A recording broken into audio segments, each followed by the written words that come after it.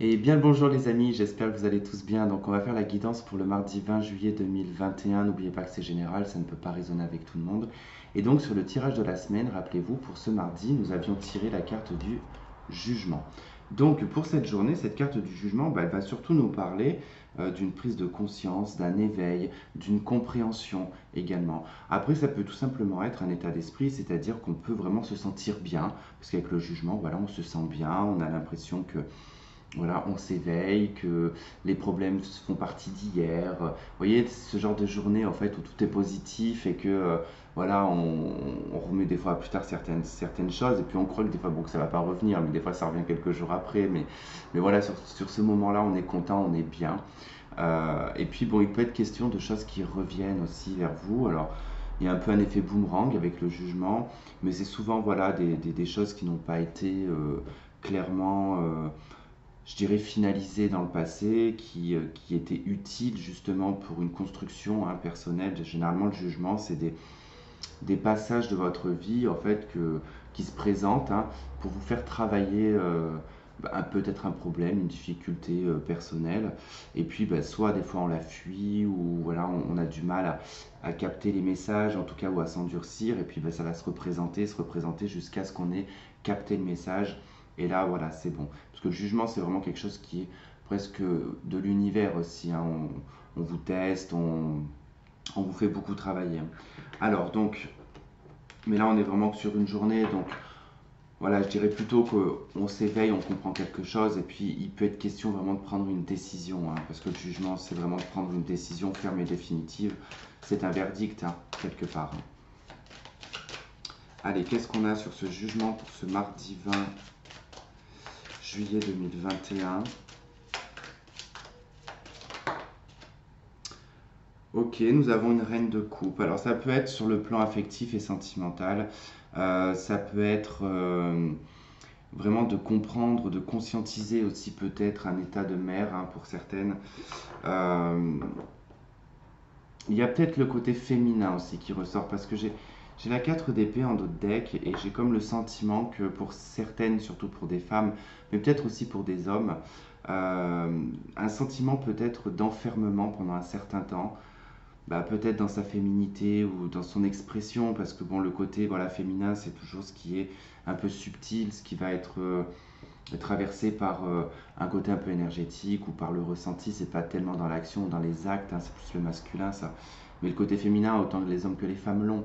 Donc euh, on a eu peut-être un peu l'impression d'avoir été emprisonné, d'être fermé, d'être euh, bah, pas forcément dans des communications. Ça veut dire qu'on peut avoir des communications avec euh, des personnes, voilà, mais on n'est pas vraiment dans des grandes communications en profondeur, en intimité. il y a peut-être un manque finalement peut-être ouais, de communication intime, ça c'est possible.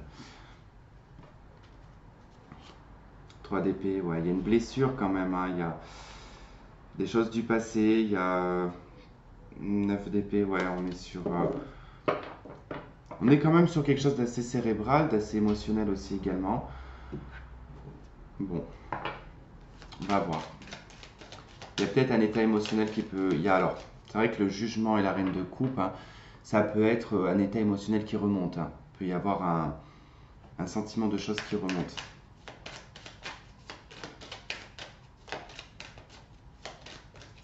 Peut y avoir des sentiments qui remontent aussi à la surface. Ça peut être ça. Hein. Il peut y avoir des sentiments qui reviennent. Alors pourquoi? On verra après avec le, tarot ce que ça nous donnera. Allez, on va voir avec l'oracle luminaire ce que ça nous donne en accompagnement.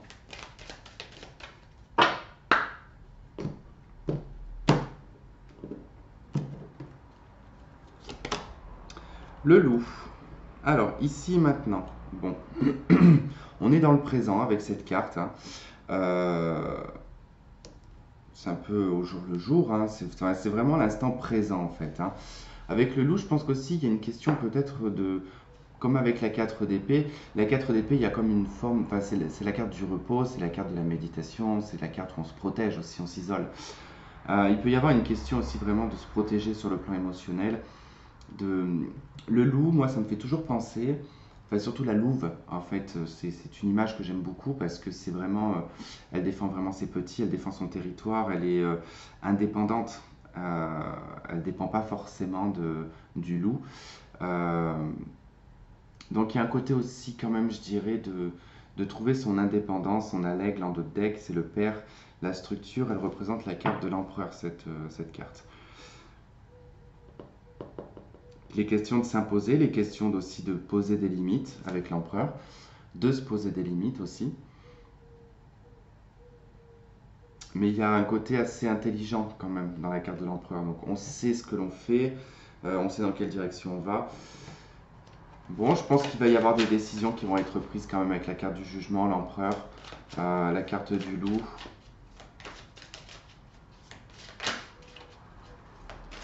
Alors, on avait eu quoi le lundi? On a eu le pendu, si je ne me trompe pas. Donc, euh, je pense qu'il y a eu une remise en question quand même lundi. Et mardi, on conscientise, je dirais ouais, qu'on conscientise ce qu'on a pu penser les jours précédents.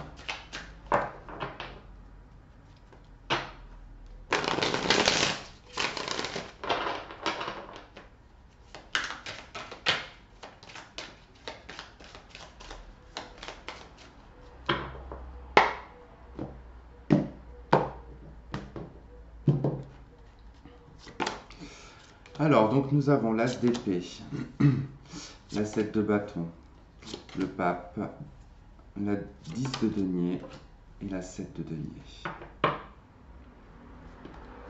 3 de denier en deux deck. Bon, euh, là il est question en fait de, poser des limites, euh, mais également aussi de se battre et de se défendre par rapport peut-être une verbalisation de choses que vous souhaitez, que vous voulez.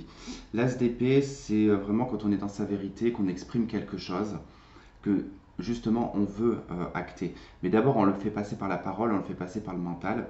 Et ça nécessite, en fait, je pense, une réflexion euh, assez constructive quand même avec la 7 de bâton. On est quand même sur le fait de défendre quelque chose, de se battre. c'est aussi d'être Là, cette de bâton, c'est comme quand on fait pas un listing, mais euh, qu'on fait le.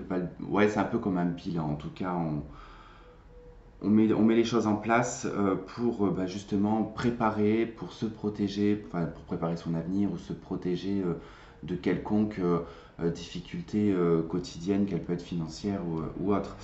Et là, il est quand même question de décider en fait de comment vous vous protégez par rapport à une question morale ici, hein, avec le pape.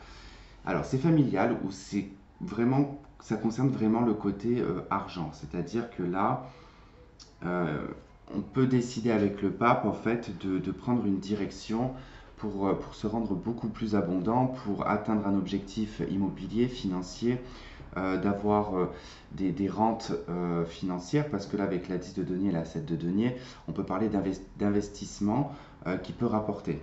D'accord On a la 3 de denier euh, en dos de deck et la 8 de denier. Donc il peut y avoir un rapport comme ça au niveau de l'argent, du travail, lié peut-être à une entreprise ou à un travail en tout cas qui peut rapporter de l'argent, mais ça peut être lié à des, investissements. Euh, voilà, en tout cas, il va être question d'établir un plan. Bon, il n'y a pas que ça.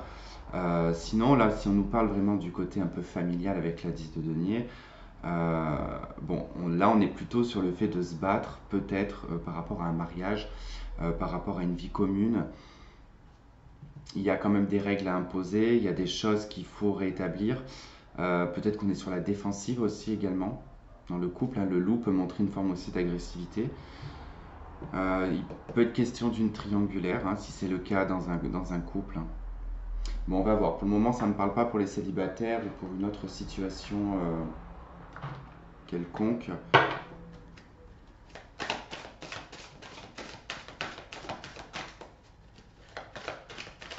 Peut être question de signer des papiers.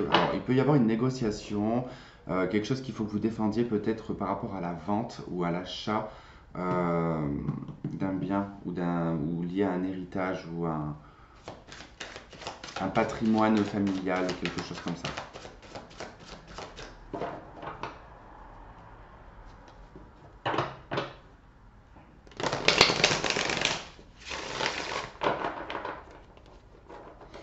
Euh, ça peut être un crédit aussi, j'ai oublié de le dire. Ça peut être la signature d'un crédit parce qu'avec la 7 de bâton, ça va quand même établir un certain nombre d'années euh, d'engagement avec le pape.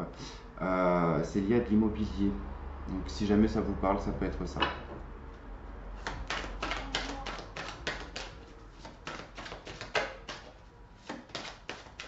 Parce qu'il est question de bâtir quand même avec la 3 de denier en de deck.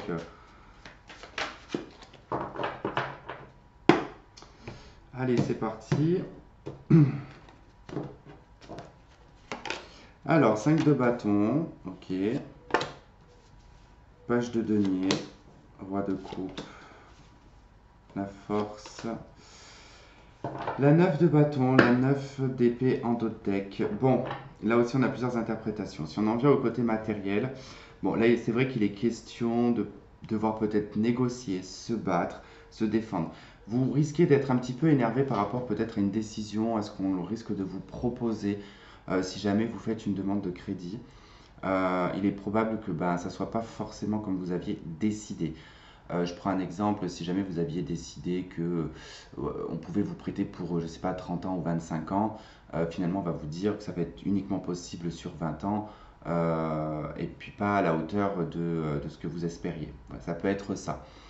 Donc c'est vrai que ça peut mettre un petit peu en colère parce qu'on voit que c'est par rapport à un projet quand même financier, euh, quelque chose quand même qui, euh, qui, tient relativement à cœur, dans lequel on met beaucoup de force pour avoir euh, un patrimoine ou pour acquérir un bien. Quoi. Donc on rencontre quand même assez beaucoup de difficultés pour obtenir les finances qu'il faut. Ça peut être aussi le cadre professionnel, cette neuf de bâton, parce que là on peut parler voilà, de, d'acharnement au travail pour en tout cas acquérir toujours un peu plus. Quoi. C'est un peu le côté travailler plus pour gagner plus. Quoi.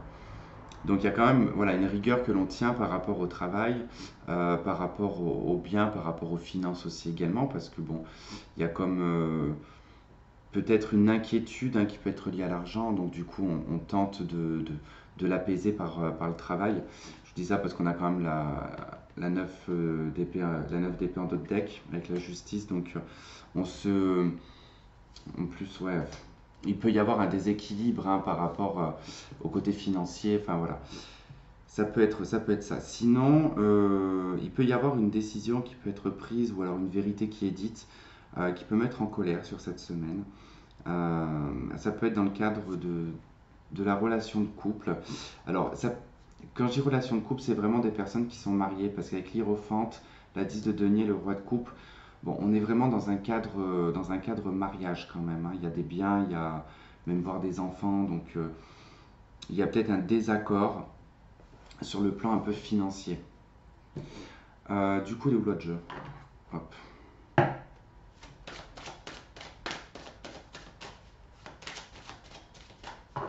Bon, je suppose que ça ne parlera pas à tout le monde, ce tirage. J'essaye un petit peu de donner tous les éléments que j'ai.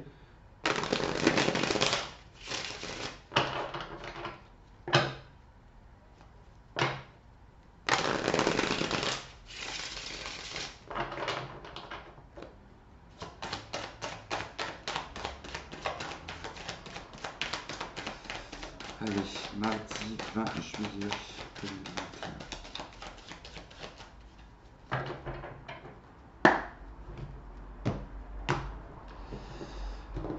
Ok, allez, qu'est-ce qu'on a? On a l'ermite. Mhm. La neuf de denier.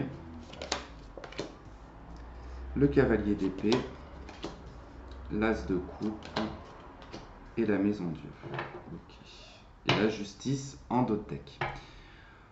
Bon, c'est pas dit euh, clairement que ce qui va être annoncé ou ce qui est par rapport à ce document qui pourrait vous, vous énerver. Euh, là aussi, deux interprétations totalement euh, différentes hein, avec bah, l'ermite et la 5 de, bâton. Là, ça va plutôt se traduire comme le fait, vous savez, de bouillonner à l'intérieur mais de ne pas s'exprimer. C'est-à-dire que ça va pas plaire. Il y a quelque chose qui ne va pas plaire en fait, hein, parce que peut-être qu'on y a mis beaucoup de, de défense, on s'est beaucoup défendu pour. Euh, en tout cas dans le cadre financier ou professionnel, c'est peut-être, ça peut être par rapport euh, peut-être à une demande d'augmentation, une demande d'aide, euh, je sais pas pourquoi demande d'aide au logement, je sais pas pourquoi j'entends ça. Il y a peut-être une demande de finance, quelque chose comme ça. En tout cas, c'est lié à de l'argent, c'est lié peut-être à de l'immobilier, mais bon. Là, euh, on bouillonne vraiment à l'intérieur de soi. Mais elle peut avoir son aspect positif, cette, cette 5 de, de bâton, parce que là, ça peut être une surexcitation, parce que certaines personnes peuvent être comme ça. Euh, quand ils sont hyper contents, en fait, ils sont hyper excités. Euh, moi, je sais pas, je sais pas si vous. Moi, j'étais comme ça quand. euh, même toujours, je crois. Je crois que je danse quand je suis content. Je fais une petite danse ou un petit truc comme ça, je crois.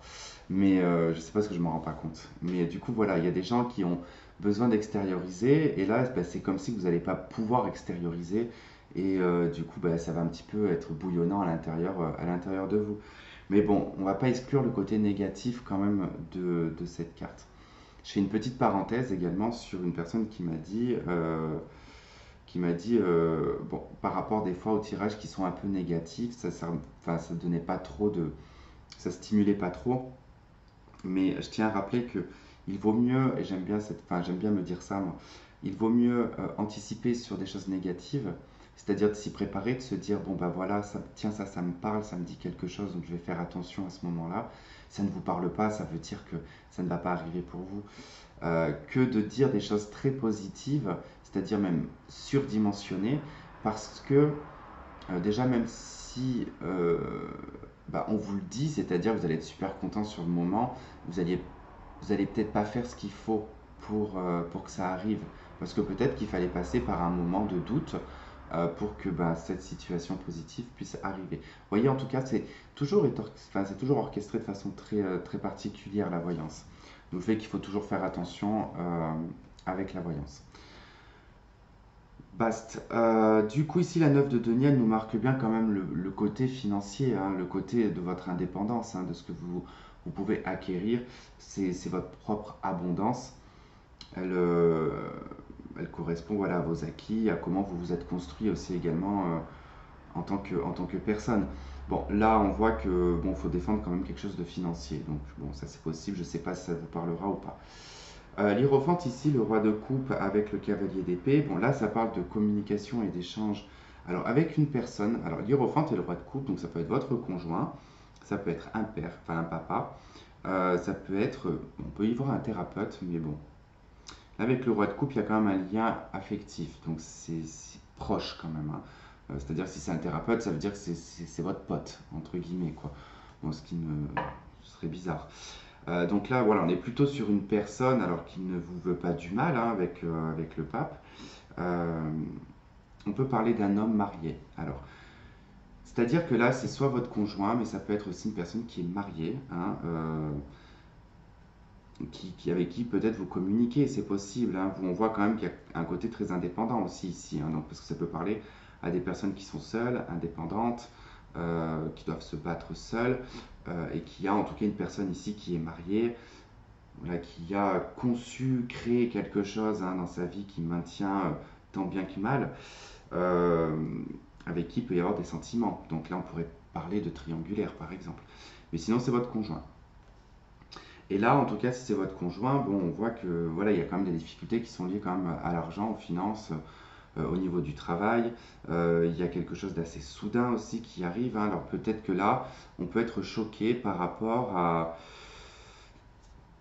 C'est-à-dire que là, on n'est pas, on reçoit pas les choses à sa juste valeur, la 9 de bâton avec euh, la 7 de, de denier. Ça veut dire qu'on a dépassé à un certain moment des limites. On s'est surpassé avec la 9 de bâton pour des deniers. D'accord? Et la, la maison Dieu, elle indique quand même qu'on est choqué. Alors, on peut être choqué parce que soit ben, on a fait beaucoup d'heures sup et qu'effectivement ça n'attend pas un super gros salaire, par exemple. hein. Euh, mais pour d'autres, ça peut être euh, qu'on annonce ici vraiment quelque chose sur euh, votre secteur hein, financier qui va pas forcément vous plaire. Alors, on peut être en colère. hein. Ici, la force et la 9 de bâton, on peut être en colère. Ça, euh, on peut être touché, on peut être vexé. On peut être euh, un peu vexé, ouais.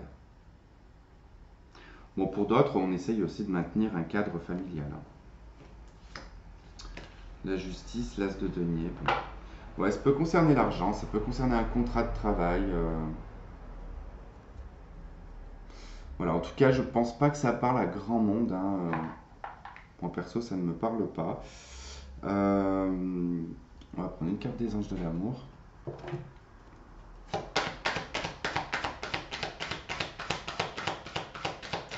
Allez, qu'est-ce qu'on a pour ce mardi 20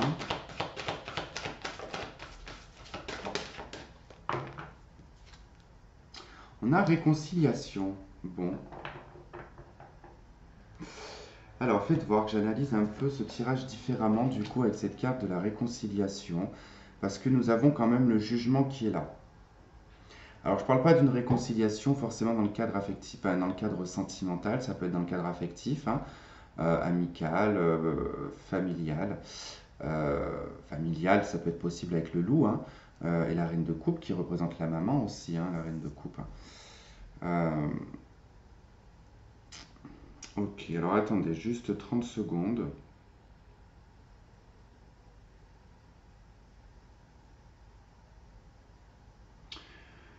Ok, bon. Dans le cadre, si c'est dans le cadre sentimental, euh, il est possible ici qu'il euh, y ait une colère qui est réprimée, d'accord? On a avalé quelque chose qu'on a peut-être eu du mal à digérer. Euh, on fait figure ici hein, que quelque part que tout va bien, qu'on gère très bien sa vie tout seul, sans la personne. En tout cas, voilà, on, montre hein, qu'on prend soin de soi, qu'on est dispo, quoi. Une forme un petit peu, voilà, où on est un petit peu dispo quand même. mais il y a une, envie quand même de, d'exprimer quelque chose. Alors, c'est vrai que là, quand même, il va être question probablement euh, de s'exprimer. Alors, par rapport peut-être à, des livres, peut-être, parce que quand je vois cette 7 de bâton, cette 9 de bâton, je pense qu'il y a une question de limite. C'est-à-dire qu'on est dans, des limites qui ne sont pas forcément partagées. Alors, il est possible qu'il y ait dans cette situation-là une personne qui se sacrifie bien plus que l'autre. Euh, ou qui s'est sacrifié bien plus que l'autre, qui à un moment donné, bah, on s'est peut-être séparé, on, peut-être, on s'est peut-être fait la gueule. Euh, ça, c'est possible. Hein.